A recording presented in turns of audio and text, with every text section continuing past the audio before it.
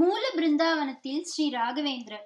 மந்திராலய ஸ்ரீ ராகவேந்திர மூல பிருந்தாவனத்தின் மேல் பகுதியில் மிருத்திகையும் தரை மட்டத்தில் சால கிராமங்களும் அதற்கு கீழே பூமிக்கு அடியில் ஸ்ரீ ராகவேந்திரரும் அமர்ந்துள்ளார்.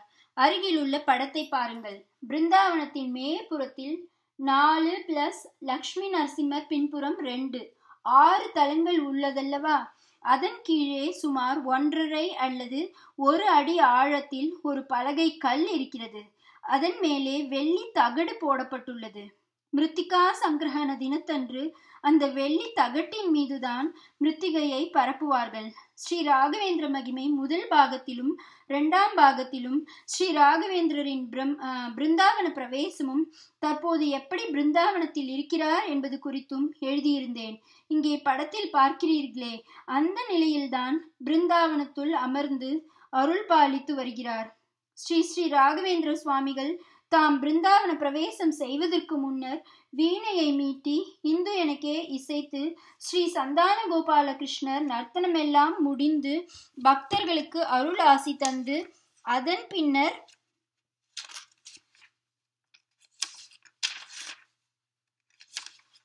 ஸ்ரீ யோகேந்திரரின் கரங்களை பற்றி கொண்டு பிருந்தாவனத்துள் பிரவேசிக்க செல்கிறார். ஸ்ரீ ராகவேந்திரரின் மேற்பார்வையில் திவான் வெங்கண்ணர் மூலம் நிர்மாணிக்கப்பட்ட பிருந்தாவனம் அது. பூமியிலே சுமார் ஏழு முதல் எட்டு அடி வரை அகழ்ந்து எடுத்து எந்த காலத்தும் நீர் உள்ளே புகாவண்ணம் கற்களால் சுவர் போல் எழுப்பப்பட்டு ஒரு அறையை போல் கர்ப்பகிரகம் போல் வடிவமைத்து கீழே உயரிய மனையும் மரத்தாலானது.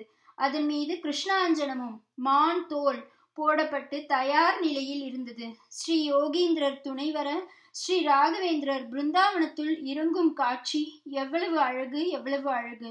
ஸ்ரீ யோகீந்திரரிடம் முன்பே கூறியிருந்தபடி ஸ்ரீ ராகவேந்திரர் பிருந்தாவனத்துள் அமர்ந்து ஜப மாலையை விழ செய்ததும் கண்களில் நீர் மல்க கூர்மாசனத்தோடு ஆமை கூடிய பலகை கல்லை பிருந்தாவனத்தின் மேல் புறத்தில் மூடி அதன் மேலே முன்பே சேகரித்து வைத்திருந்த சால கிராமங்களை வைத்து அதன் மேற்புறத்திலும் இன்னொரு பலகை கல்லை வைத்து பிருந்தாவனத்துள் பிரவேசிப்பதற்கான படிக்கட்டுகள் இருந்தனவே. அவற்றை அகற்றி அந்த இடத்தையும் பலகை கல்லால் மூடி அதன் பின்னரே நமக்கு இப்போது தெரியும் பிருந்தாவனத்தை எழுப்பினர். ஸ்ரீ ராகவேந்திரர் பிருந்தாவனத்துள் பிரவேசிப்பதையும் அமர்ந்துள்ளதையும் பிருந்தாவனத்தை எழுப்ப ஸ்ரீ யோகேந்திரரும் திவான் வெங்கண்ணரும் கட்டளையிடுவதையும் லயச்சித்திர ஓவிய கலைஞர் திரு சசி அவர்கள் எவ்வளவு தத்ரூபமாக உயிர் ஓவியமாக தீட்டியிருக்கிறார் பாருங்கள். இப்படிப்பட்ட ஓவியங்களை வரைய தகுந்த ஆலோசனைகளை தந்து உதவியவர் Thiruvallikeni ஸ்ரீமடத்தின் manager Thiru C R Krishnaswami Rao அவர்கள். வம்ச விருட்சம் கிரந்தங்கள் போன்றவற்றை தொகுப்பதற்கும் பெருமளவில் உதவி புரிந்ததும் இவரே. எனது நூல்கள் சிறப்புற அமைய ஸ்ரீ ராகவேந்திரர் அதற்கு தகுந்தவர்களை அவரே ஏற்பாடு செய்து விடுகிறார் என்றே தோன்றுகிறது. இப்படித்தான் ஸ்ரீ ராகவேந்திர மகிமை இரண்டாம் பாகம் எழுதி முடித்து அந்த கை பிரதியேட்டை திருவல்லிக்கேணி பிருந்தாவனத்தில் ஒரு நாள் இரவு பதினோரு மணிக்கு திரு வெங்கடேசாச்சாரிடம் படித்து காண்பித்துக் கொண்டிருந்தேன். அன்று ஸ்ரீ தீரேந்திரர் நிகழ்ச்சியை படித்து கொண்டிருந்த போது அன்று ஸ்ரீ தீரேந்திரர் நிகழ்ச்சியை படித்துக் கொண்டிருந்தார். அப்போது அந்த ஹொசரத்தி தொடர்பாய் ஒரு சந்தேகம் எழுந்தது. அந்த நேரத்தில் நாங்கள் இருந்த அறையின் கதவு தட்டப்பட்டது. திறந்தால் நாங்கள் ஹொசரத்தியில் இருந்து வருகிறோம். ரயில் கால தாமதமானதால் இவ்வளவு நேரமாகிவிட்டது என்ற போது எனக்கு வெகு ஆச்சரியமாக இருந்தது. அவர்களிடம் அந்த தீரேந்திரர் பிருந்தாவனம் குறித்த ஐயங்களை கேட்டுக்கொண்டேன் பிரிதொரு சமயம் நஞ்சன்கூடு பற்றி எழுதிவிட்டு விவாதித்துக் கொண்டிருந்த போது இதே போல் எதிர்பாராத வேளையில் நஞ்சன்கூட்டிலிருந்தே அந்த சிலாரூப சன்னதியிலிருந்தே ஸ்ரீ ராகவேந்திரர் வம்சாவளியினர் வந்திருந்தனர். இதை போன்ற நிகழ்வுகளை எல்லாம் ஸ்ரீ ராகவேந்திர மகிமை நூல் எழுதுகையில் எனக்கு ஏற்படும் அனுபவங்களை எல்லாம் விவரித்தால் அதுவும் நீண்டு கொண்டே போகும். ஸ்ரீ ராகவேந்திரரை ஆத்ம சுத்தியோடு நினைக்கும் போது நமது எண்ணம் நியாயமாக இருக்கும் பட்சத்தில் நிச்சயம் அதை நிறைவேற்றியே தீருவார். சில சமயம் நாம் நினைத்து பார்க்காத நமது சக்திக்கு மீறிய செயல்களையும் நிகழ்த்தி நம்மை திக்குமுக்காட செய்திடுவார். ஆம் முடிந்தால் நானும் சிங்கப்பூரில் ஸ்ரீ குரு ராகவேந்திரர் சேவா சமாஜத்தினரால் பிரார்த்தனை மண்டபமாக ஸ்ரீ ராகவேந்திர பிருந்தாவனம் எழும்போது செல்லலாம் என்றிருக்கிறேன் என்றுதான் இந்த மூன்றாம் பாகத்தின் ஒரு அத்தியாயத்தில் எழுதியிருந்தேன். ஆனால் அதை நிஜமாக்கி அங்கு பிருந்தாவனம் எழும் முன்னரே என்னை அங்கு மேடைகளில் எழச் செய்து சொற்பொழிவை நிகழ்த்தி வைத்து சிங்கப்பூரில் உள்ள ஆலயங்களிலும் பக்தர்களின் இல்லங்களிலும் பூஜைகளிலும் பங்கேற்க வைத்து மலேசியாவிற்கும் செல்ல வைத்து அதுவும் சல்லி காசு கூட என்னை செலவிட வைக்காமல் அவர்களே என்னை அரவணைத்ததெல்லாம் நாம் நினைத்து பார்த்தா பார்த்திராத அதிசயங்கள். நான்காம் பாகத்தை படிக்கும்போது ஸ்ரீ ராகவேந்திர பக்தி அங்கெல்லாம் எவ்வளவு ஓங்கி இருப்பது ஓங்கி இருக்கிறது என்பதை அறிந்து பிரமிப்பீர்கள். ஸ்ரீ ராகவேந்திரர் பூத உடலுடன் சஞ்சரித்த போது அவர் கடல் தாண்டியதாக சரித்திரத்தில் இல்லை. ஆனால் அவரது மகிமைக்கு எல்லை இல்லை என்பதை நமது ஒவ்வொரு பாகத்திலும் கண்டு வருகிறோம். அவரது பக்தி கடல் கடந்துள்ளதைப் போல அவரது மகிமைகள் கடல் கடந்தும் நிகழ்ந்து வருகின்றது. அமெரிக்காவில் ஜப்பானில் எத்தியோப்பியாவில் ஸ்ரீலங்காவில் மலேசியாவில் ஆஸ்திரேலியாவில் என்று உலகின் பல பாகங்களிலும் அவரது மகிமை நிகழ்ந்து கொண்டிருப்பதை இந்த மூன்று பாகங்களில் எழுதியுள்ளதைப் போல நான்காவது பாகத்தில் சிங்கப்பூரை பார்க்க போவதைப் போல இன்னும் பல நாடுகளில் நிகழ்ந்து வருவதையும் அடுத்தடுத்த பாகங்களில் ஸ்ரீ குருராஜர் என்னை எழுத வைப்பார் என்று எனக்கு தோன்றுகிறது. ஏனெனில் அவர் பூத உடலுடன் இருந்தபோதும் பிருந்தாவனத்துள் பிரவேசித்து இன்னும் ஜீவனுடன் இருந்து வரும்போதும் அவர் ஓரிடத்தில் இருந்து கொண்டே வேறு இடங்களுக்கு வேறு ரூபத்தில் செல்லக்கூடிய வல்லமை பெற்றவர் என்று முந்தைய அத்தியாயத்தில் பார்த்தோம் அல்லவா அந்த சாம்சர்களுக்கே உரித்தான சக்தியினால் அவரது அருள் வீச்சு உலகின் மூளை முடுக்குகளுக்கெல்லாம் கூட பாய்ந்து கொண்டிருப்பதை அடுத்தடுத்த பாகங்களில் எழுதக்கூடிய வல்லமையை அவர் எனக்கு அளிப்பார் என்பது எனது திடமான நம்பிக்கை. ஏனெனில் இந்த மூன்று பாகங்களும் என்னால் எழுதப்பட்டது என்பது ஒரு சம்பிரதாயமாக சொல்லப்பட்டாலும் கூட என்னுள் இருந்து என்னை இயக்கி என்னை எழுத வைத்தவர் எழுத வைத்து கொண்டிருப்பவர் இனி எழுத வைப்பவர் ஸ்ரீ ஸ்ரீ ராகவேந்திர சுவாமிகள் என்பதுதானே வாஸ்தவமானது. இல்லையெனில் ஸ்ரீ ராகவேந்திர மகிமை நூல்களுக்கு உலகமெங்கும் இவ்வளவு புகழ் கிடைத்திருக்குமா என்ன? இந்த நூல்களை படித்த கையோடு கடிதம் மூலமாகவும் நேரிலும் தொலைபேசி வாயிலாகவும் என்னை பாராட்டுவதைப் போல மிக உரிமையோடு சில கோரிக்கைகளையும் என்னிடம் வைப்பார்கள். அவற்றுள் பெரும்பாலானவை என் சார்பாக எனக்காக இந்த நிகழ்வு நடைபெற இந்த எண்ணம் ஈடேற நீங்கள் ஸ்ரீ ராகவேந்திரரிடம் பிரார்த்தித்து கொள்ள வேண்டுகிறோம் என்கிற ரீதியில் இருக்கும். நானும் எனது பூஜையின் போது தியானத்தின் போது அவர்களுக்காக பிரார்த்தித்துக் கொள்வதுண்டு. ஒருவருக்காக இன்னொருவர் பிரார்த்தித்துக் கொள்வதில் தவறேதுமில்லை. கூட்டு பிரார்த்தனை எல்லாம் கூட உலகெங்கும் அனுஷ்டிக்கப்படுவதுதான். ஆனால் நீங்கள் பிரார்த்தித்தால்தான் நான் வேண்டியது எனக்கு நிறைவேறும் என்றும் ஒரு சிலர் எழுதுகிறார்கள். இதை போன்று எழுதிய பிறகு ஒரு சிலருக்கு அவர்களின் கோரிக்கைகள் கைகூடி இருக்கவும் கூடும். அதற்கு காரணம் அவர்களின் பரிபூர்ண பக்திதான். நான் அல்ல. ஸ்ரீ ராகவேந்திரரிடம் யார் வேண்டுமானாலும் நேரிடையாக வேண்டலாம். அதுதான் முறையானது. நமது பிரார்த்தனைகளை அவரிடம் சமர்ப்பிக்க இன்னொருவர் தேவையில்லை. நமக்கு அருள அவர் ஜீவனுடன் காத்திருக்கும் போது நாம் ஏன் வேறு மார்க்கம் செல்ல வேண்டும்? அவரிடம் கசிந்துருகி நாமே நமது குறைகளை கூறலாம். இதை இன்னொருவர் மூலமாக நாம் வெளிப்படுத்த வேண்டியதில்லை. இந்த இடத்தில் நன்றாக புரிந்து கொள்ளுங்கள். கூட்டு பிரார்த்தனையோ ஒருவருக்காக மற்றொருவர் ஆத்மார்த்தமாக பிரார்த்திப்பதையோ நான் வேண்டாம் என்று சொல்லவில்லை. அது நல்லது அது ஆரோக்கியமானதும் கூட. ஆனால் இன்னொருவர் நமக்காக வேண்டிக் கொள்வார். நமக்கு இனி அந்த கவலை இல்லை என்று ஸ்ரீ ராகவேந்திர பக்தியிலிருந்து கொஞ்சம் கீழ் இறங்குவதை விட மற்றவர்களிடம் தனக்காக வேண்டிக் கொள்ளுமாறு கூறியிருந்தாலும் கூட தானே கதறும் கதறல் இருக்கிறதே. அதற்குள்ள சக்தி வேறெதற்கும் இல்லை. இதை ஏன் இவ்வளவு தெளிவாக எழுதுகிறேன் என்றால் பல இடங்களில் எவ்வித எதிர்பார்ப்புமின்றி ஆத்ம சுத்தியோடு பிரார்த்தனைகளை கூட்டு வழிபாடுகளை செய்து வருகிறார்கள் என்பது உண்மைதான். ஆயினும் ஒரு சில இடங்களில் இதற்கு நேர்மாறாக நடந்து வருவதாகவும் கேள்வி. பக்தி என்றால் ஸ்ரீ ராகவேந்திரரிடம் நாமே திடமாக கொள்ளும் பக்திதான் உண்மையான பக்தி. ஸ்ரீ ராகவேந்திரரை நம்பினால் அதாவது உண்மையாக நம்பினால் நமக்கு என்ன குறை இருந்தாலும் அது விரைவில் தீர்ந்துவிடும். நம் எண்ணங்கள் ஈடேறும். அதற்கு பொறுமை வேண்டும். அதாவது மனம் பக்குவப்பட வேண்டும். என்னை நேரில் சந்திப்பதற்கு பலர் வருவதுண்டு. ஒருமுறை ஒரு வயதானவர் என்னிடம் நேரில் சொல்லியதை கேட்டு நான் மலைத்து போனேன். பக்குவம் என்றால் அதுதான் மனப்பக்குவம். பக்தி என்றால் அதுதான் திட பக்தி நம்பிக்கை என்றால் அதுதான் ஸ்திர நம்பிக்கை. வந்திருந்த அந்த பெரியவர் என்னையே வெகு நேரம் உற்று பார்த்து கொண்டிருந்தார். அவருக்கு எண்பது வயதிற்கு மேல் இருக்கும். இருப்பினும் அவர் முகத்தில் எந்தவித சோக ரேகைகளும் இல்லாதிருந்தது. வயதானால் எல் சருமத்தில் எல்லாருக்கும் தளர்ச்சி வருவது இயற்கைதான். ஆனால் உள்ளத்தில் உவகை இல்லாது கவலை மேலிடும்போது நம்மை அறியாது முகத்தில் ஒரு தளர்ச்சி ஏற்பட்டு நம் மனத்தில் இருப்பதை காட்டி கொடுத்துவிடும். வந்திருந்த பெரியவரிடம் அதை போன்ற தளர்ச்சி இல்லை. மூப்பின் காரணமாய் ஏற்பட்ட சுருக்கங்கள் தான் தென்பட்டன. அவரே என்னிடம் பேசினார். உங்க புஸ்தகங்கள் ரொம்ப பேருக்கு ரொம்ப பக்கபலமா இருக்கு.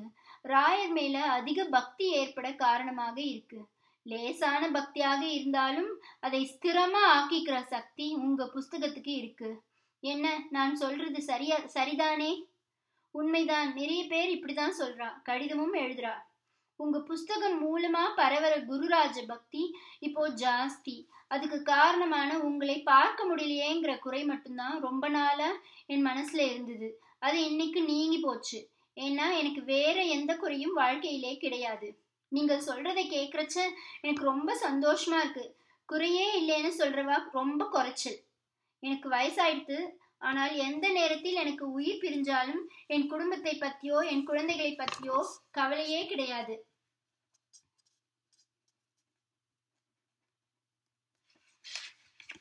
குறையே இல்லைன்னு சொன்னீங்க. இருந்தாலும் கவலை இல்லைன்னு சொல்றீங்க. இது எப்படி சாத்தியம்? எத்தனை வயசானாலும் எல்லா வசதியும் இருந்தாலும் என் பேரனுக்கு இன்னும் வேலை கிடைக்கவில்லையே. என் கொள்ளு பேத்திக்கு நல்ல ஸ்கூல் கிடைக்கலையே. என்று ஏதாவது ஒரு குறை இருந்து கொண்டே தானே இருக்கும். அதுதானே இயற்கை. இயற்கை தான். ஆனால் எனக்கு என் பிள்ளைங்க பேர பிள்ளைங்க இவங்க யாரை பற்றியும் கவலை இல்லை. ஏன்னா நான் இவங்களை தனியே விட்டுட்டு போக போகிறது இல்லையே எனது குருராஜரிடம் அல்லவா விட்டுட்டு போக போகிறேன் அப்புறம் எனக்கு என்ன கவலை?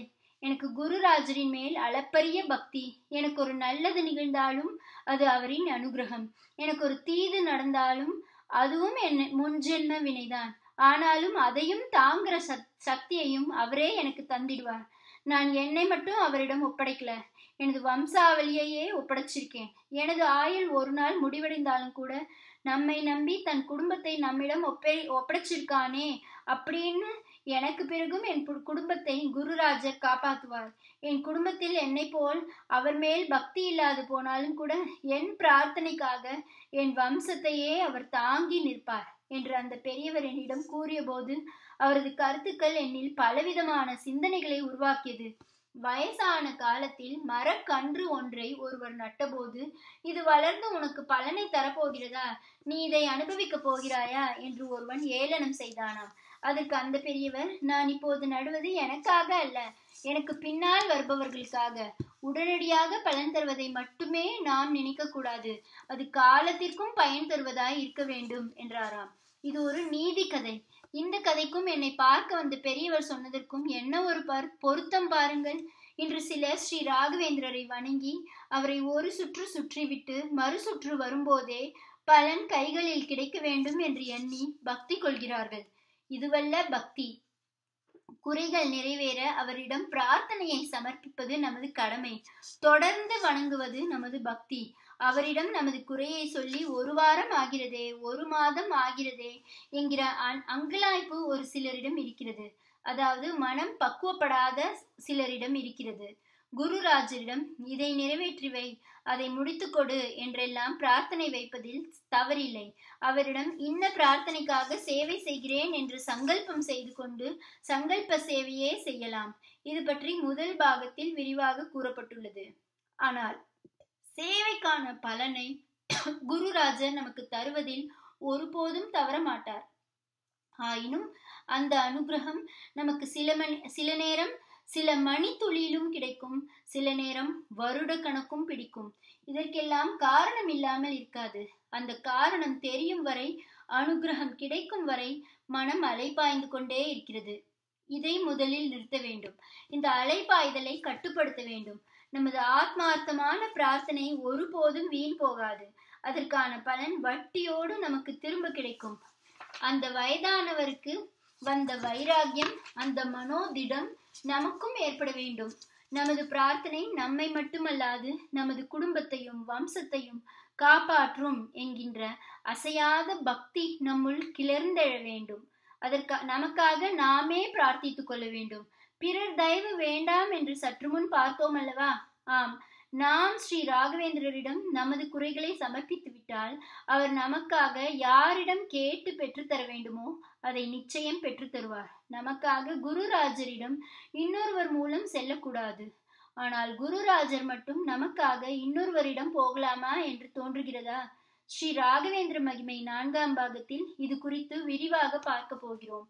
குருராஜரை ஸ்திரமாக வணங்குங்கள்.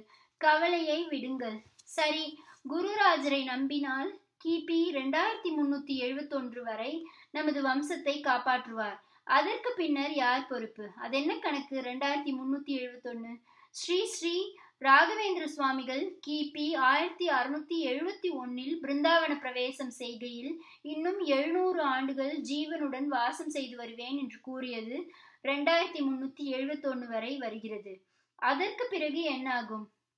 ஒன்றும் ஆகாது. அன்றும் ஸ்ரீ ராகவேந்திர அனுகிரகம் பெருகும். அதெப்படி? அதைத்தான் ஸ்ரீ ராகவேந்திர மகிமை ஐந்தாம் பாகத்தில் தெளிவாக காணப்போகிறோமே. அதுவரை நீங்கள் படித்ததை நீங்கள் அறிந்ததை நீங்கள் அனுபவித்ததை பிறருக்கும் சொல்லுங்கள். ஸ்ரீ ராகவேந்திர மகிமை நூல்களை நீங்கள் படிப்பதோடு நிறுத்தாமல் பிறருக்கு படித்திட கொடுப்பதோடு நிறுத்தாமல் நீங்களும் உங்கள் வாயால் பலரிடமும் சொல்லுங்கள். உங்களால் பலருக்கும் ஸ்ரீ ராகவேந்திர பக்தி ஏற்பட்டு அவரது அனுகிரகம் கிடைக்க நீங்களும் காரணமாக அமையும் போது அந்த புண்ணியத்தில் ஒரு பகுதி உங்களுக்கும் கிடைக்கும். அதிலும் இந்த நூல்களை விலை கொடுத்து வாங்க முடியாதவர்களுக்கு நீங்கள் செய்யும் பேர் உபகாரம் இதுவாகத்தான் இருக்கும். தொடர்ந்து உங்கள் கருத்துக்களை எண்ணங்களை எனக்கு எழுதுங்கள். எல்லாவற்றுக்கும் என்னிடமிருந்து பதில் வரவில்லையே என்று எண்ணாதீர்கள். எல்லா கடிதங்களுக்கும் நானே பதில் இடுவதென்பது நிச்சயம் முடியாத காரியம். சிலவற்றுக்கு நான் பதில் இடுவேன் பலவற்றுக்கு என் அலுவலகத்திலிருந்து பதில் வரும். ஒரு சிலருக்கு ஏதும் வரவில்லை என்றால் அதற்கு பதில் தேவையில்லை என்று பொருள். அதேபோல் என்னை பார்க்க வருவதென்றால் தயை கூர்ந்து முன்கூட்டியே கடிதம் எழுதிவிட்டு தொலைபேசியில் தொடர்பு கொண்டு அதன் பின்னர் வாருங்கள். ஏனெனில் ஆய்வுகளுக்காக பல நாட்கள் நான் வெளியூர் பயணத்தில் இருக்கும்போது நீங்கள் திடீரென்று வந்தால் என்னை சந்திக்க இயலாதல்லவா? அதேபோல் நான் சென்னையில் இருந்தாலும் எனக்கு முன்கூட்டியே தகவல் தந்துவிட்டு வரும்போதுதான் நான் மனம் விட்டு அளவலாக முடியும். எனக்கென்று பதிப்பக பணி இருக்கிறது. நாலு இடங்களுக்கு செல்ல வேண்டியுள்ளது. அடிக்கடி வெளியூர் பயணங்கள் செல்வதால் சென்னையில் இருக்கும்போது எனது அலுவல்கள் அதிகப்படி இருக்கும். முன்கூட்டியே தகவல் தந்தால்தான் உங்களுக்காக என் நேரத்தை ஒதுக்கி கொள்ள சௌகரியமாய் இருக்கும். சென்னையில் இருக்கையில் பகல் முழுக்க பதிப்பக பணி சரியாக இருக்கும். இரவில் தான் எழுத்து பணி. எனது எழுத்தின் மூலம் எல்லோருக்கும் நல்லது நடக்க வேண்டும் என்று பிரார்த்தித்து கொண்டுதான் எழுதுவேன். மந்திராலய பிருந்தாவன பிரகாரத்தில் என்னிடம் காஷாயம் பெற்றுக்கொண்டு உனது செயல்கள் எல்லாம் பலருக்கும் பயன்பட போகிறது. அப்படிப்பட்ட வாழ்க்கை உனக்கு அமைய போகிறது என்று ஒரு பெரியவர் அருளியதை முதல் பாகத்தில் குருராஜா நீர்தான் அவர் வடிவில் வந்தனையா? என்று பரவசப்பட்டு எழுதியிருந்தேன். வருடங்கள் செல்ல செல்ல அன்று வந்தது ஸ்ரீ ராகவேந்திரர் தானோ என்கின்ற எண்ணம் என் நெஞ்சில் ஊசலாடும். என்னை அனுகிரகிக்க வந்து காஷாயம் பெற்றுக்கொண்ட அந்த பெரியவர் நிச்சயம் ஸ்ரீ ஸ்ரீ ராகவேந்திரராகத்தான் இருக்கும். இருக்கும் என்ன? ராகவேந்திரர் தான் என்று பலரும் என்னிடம் கூறுவதற்கு காரணம் மேற்படி நிகழ்ச்சி நடந்தது ஆயிரத்தி தொள்ளாயிரத்தி எழுபத்தி ஏழில். அதன் தொடர்ச்சியாய் அவர் அருளியதற்கேற்ப எனது செயல்கள் இதை போன்ற நூல்களின் மூலம் பலருக்கும் பயன்படுமாறு அமையுமாறு என் வாழ்க்கையை மாற்றியவர் ஸ்ரீ ராகவேந்திரர் தான். என்னை பார்க்க வருபவர்களில் பலர் உங்களுக்கு ராகவேந்திர தரிசனம் கிடைச்சிருக்கு. உங்க கையால அவர் காஷாயம் வாங்கிட்டு இருக்கார் அப்படிப்பட்ட உங்களை பார்க்கிறதே எங்களுக்கு பெரும் பாக்கியம் என்று கூறுவார்கள். மேற்படி நிகழ்ச்சி நடந்தது உண்மை. அடுத்த நாள் மந்திராலயம் முழுவதும் அந்த பெரியவரை தேடியும் என் கண்ணில் படாமல் போனதும் உண்மை. ஆயினும் அவர் ஸ்ரீ ராகவேந்திரராக இருக்குமோ என்ற வினாதான் என்னுள் இருந்து கொண்டிருந்தது. இப்போது அவர் குருராஜர் தான் அந்த பெரியவர் வடிவில் வந்தது குருராஜர் தான் அல்லது அந்த பெரியவரை அனுப்பி வைத்தது குருராஜர் தான் என்கின்ற எண்ணம் மற்றோரை போல் என்னுள்ளும் நிலைத்து விட்டது. என்னால் நினைத்து பாரா பார்த்திராத அற்புதங்கள் இதன் பின்னர் நிகழ்ந்து கொண்டே இருக்கிறதே. அதற்கு காரணம் வந்து அனுகிரகித்த குருராஜர் தானே எனினும் அற்புதங்கள் யாவும் ஒரே நாளில் என்னுள் நிகழ்ந்து விடவில்லை. தெய்வமாக இருந்தாலும் மகானாக மனிதராக இருந்தாலும் பிராரப்தம் அதாவது முன்வினை என்பதை அனுபவித்தே தீர வேண்டும். ஸ்ரீ ராகவேந்திரரின் பரம குருவான ஸ்ரீ விஜயேந்திரர் வரலாற்றில் இது சம்பந்தமான மிகவும் அற்புதமான ஒரு நிகழ்வு உண்டு. ஸ்ரீ அப்பைய தீட்சித ஸ்ரீ விஜயேந்திரரை பார்த்து உங்களுக்கே இந்த நிலையா? என்று வியக்கும்போது அப்போது விஜயேந்திரர் தக்க பதிலை சொல்வதோடு அதை விளக்கி காட்டி அற்புதம் புரிவதை ஸ்ரீ ராகவேந்திர மகிமை நான்காம் பாகத்தில் விரிவாக விளக்கியிருக்கிறேன். நமது முன்வினை எதுவாக இருந்தாலும் நாம் ஸ்ரீ ராகவேந்திரரிடம் சரணாகதியாகும் போது அவற்றை விளக்கி நம்மை அனுகிரகிப்பார். பல நிகழ்வுகளில் என் வாழ்க்கையில் நான் கண்கூடாக கண்ட உண்மை இது. குருராஜரை பற்றி எனக்கு முன்னர் பல நூல்களை எழுதியிருந்தாலும் ஸ்ரீ ராகவேந்திர மகிமை நூல்களுக்கு மிகப்பெரிய அங்கீகாரத்தை அளித்தவர் குருராஜர் தான் எனது ஆய்வுகளுக்கு துணை நின்று இத்துணை பாகங்களை வெளிவர வைப்பதும் அவர்தான். எனக்கு முன்னரே ஸ்ரீ ராகவேந்திரர் காலத்தில் அவர் நிகழ்த்திய அற்புதங்களை சிலர் எழுதியிருந்தாலும் அந்த அற்புதங்களை நிகழ்த்த எப்படி சாத்தியமாயிற்று என்கின்ற ஆய்வு நோக்கில் என்னை எழுதிட வைத்து அதுவும் எளிமையாய் எழுதிட வைத்து எல்லோருக்கும் பயன்படும் வகையில் அமைத்து கொடு அமைத்து கொடுத்தது குருராஜர் அனுகிரகம்தான். நடக்காத எதையும் நான் எனது நூல்களில் எழுதுவதில்லை. நடந்ததைத்தான் எழுதுகிறேன். பல்வேறு காலகட்டங்களில் நடந்தவற்றை ஆய்வுகள் மேற்கொண்டு நான் அவற்றை நூலாக்கம் செய்கிறேன் என்பதுதான் உண்மை. இருப்பதைத்தான் எழுதுகிறேன். ஆனால் அது சமீபத்தில் நிகழ்ந்ததாயிருந்தாலும் ஸ்ரீ ராகவேந்திரர் காலத்திலோ அதற்கு முன்போ நிகழ்ந்ததாக இருந்தாலும் அதை அறிவதற்காக அதனுள் இருக்கும் அற்புதத்தை வெளிப்படுத்துவதற்காக நான் மேற்கொள்ளும் முயற்சிகளுக்கு தனது காருண்யத்தை பக்கபலமாக தந்து வருபவர் ஸ்ரீ ராகவேந்திரர் என்பதுதான் நிஜம். ஒரு சில அத்தியாயங்களை பத்து நிமிடங்களில் படித்து விட முடியும். அப்படி பத்து நிமிடங்களில் படிக்கும்படி நான் எழுதுவதற்காக அதாவது அதற்கான விஷயங்களை சேகரிப்பதற்காக எடுத்துக்கொண்ட காலம் மாத கணக்கில் சில சமயம் வருட கணக்கில் கூட இருக்கும். ஒரு சிலர் இதை அறியாது. ஸ்ரீ ராகவேந்திர மகிமை நூல்களில் இருந்து எடுத்து தாமே எழுதியுள்ளதை போல் எழுதிவிடுகிறார்கள் ஸ்ரீ ராகவேந்திரரை பற்றி யார் வேண்டுமானாலும் எழுதட்டும். அவர்களும் ஆய்வுகள் மேற்கொண்டு புது புது தகவல்களை தரட்டும். அப்போதுதான் ஸ்ரீ ராகவேந்திர அனுகிரகம் பரிபூர்ணமாக அவர்களின் நூல்களுக்கும் கிடைக்கும். அதை விடுத்து நான் எழுதியதையே கொஞ்சம் அப்படி இப்படி மாற்றி எழுதும்போது உங்களை போன்ற வாசக பக்தர்கள் இது ஏற்கனவே வந்ததுதானே என்று நூலை புரட்டி பார்த்துவிட்டு வைத்து விடுகிறார்கள். எதற்கு சொல்கிறேன் என்றால் ஆத்மார்த்தம் இருந்தால்தான் அதற்குரிய பலன் நமக்கு கிடைக்கும். ஸ்ரீ ராகவேந்திரர் ஜீவனோடு பிருந்தாவனத்தில் இருந்து வருகிறார். நாம் அவரிடம் எந்த அளவு பக்தி வைக்கிறோமோ அதைவிட அதிகப்படியாக அவர் அருள்வார். நாம் கொள்ளும் பக்தியிலே தூய்மை இருக்க வேண்டும் நியாயம் இருக்க வேண்டும். அப்படி இருக்கும் பட்சத்தில் ஸ்ரீ ராகவேந்திர குரு சார்வ பௌமர் நமது மனோபிஷ்டங்கள் அனைத்தையும் நிறைவேற்றி வைப்பார். இந்த ராகவேந்திர பக்தி குறித்து என்னிடம் நிறைய அளவில் கீழ்கண்ட கேள்வி எழுப்பப்படுவதுண்டு.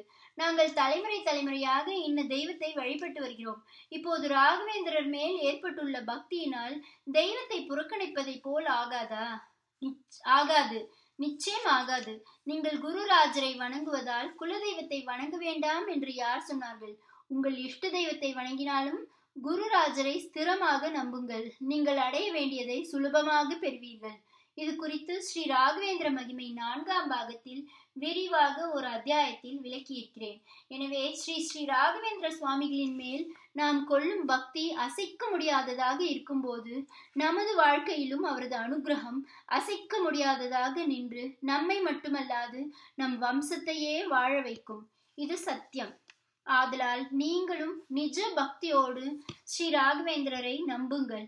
உங்களுக்கும் உங்களை சார்ந்தோருக்கும் சகல சௌபாகியங்களும் வந்து சேரும் என்பது திண்ணம் என்பதை திடமாக கூறிக்கொண்டு உங்கள் எல்லோர் வாழ்விலும் ஸ்ரீ ராகவேந்திர சுவாமிகளின் அருள் வீச்சு எப்போதும் நின்று நிலைக்கட்டும் என்று பிரார்த்தித்துக்கொண்டு கொண்டு உங்களை எல்லாம் மீண்டும் ஸ்ரீ ராகவேந்திர மகிமை நான்காம் பாகத்தில் சந்திக்கிறேன் என்று கூறிக்கொண்டு இந்த நூலை முடித்துக்கொள்கிறேன் ஓம் ஸ்ரீ ராகவேந்திராய நமக.